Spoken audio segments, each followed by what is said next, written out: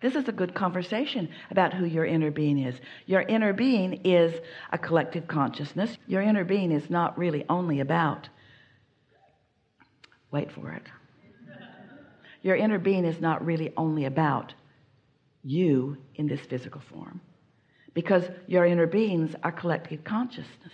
Your inner beings are because of law of attraction gathered together with others who are of like vibration and so that's why this source energy you use the word well-being. That's why this well-being is so supreme. It's why it's so extreme. It's why it's so dominant this non-physical well-being that is what it is because of the part of the well-being that is you that is willing to come forth and have the new experience that describes the well-beingness in more and more further extended ways. Ooh, don't you like knowing that?